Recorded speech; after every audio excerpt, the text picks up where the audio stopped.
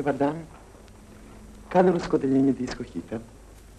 Zorica želi, Zorica želi da razgovara sa vama. Šta? Sa vama. Što je? Dušo, ti me čuješ? Šta?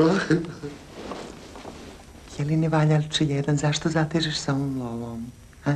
Jo, Drugarice, Zorice nije stvar u meni. Znaš da sam u tebe mnogo više očekivala.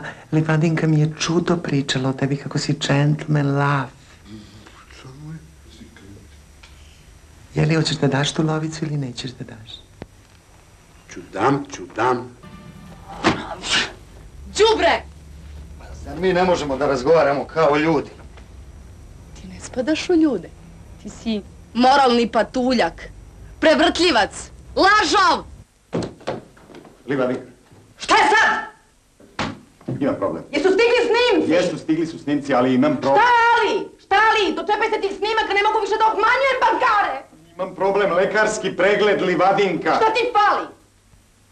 Ne fali mi ništa, ja imam višak. O, čestitam kolegice, čestitam radosnu vijest.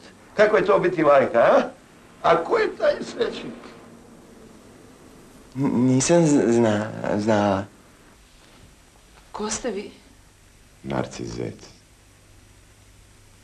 Šta? Narcisa Zec. Tvoja drugarica. Ličite mi na nekoga. Ja ne ličim ni na koga. Ja sam original.